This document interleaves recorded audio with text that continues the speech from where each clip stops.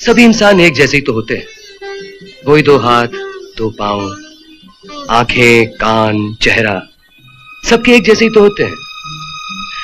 फिर क्यों कोई एक सिर्फ़ एक ऐसा होता है जो इतना प्यारा लगने लगता है कि अगर उसके लिए जान भी देनी पड़े तो हँसते हँसते दी जा सकती है। यानी किसी दिन हमें भी किसी से इतना प्यार हो जाएगा?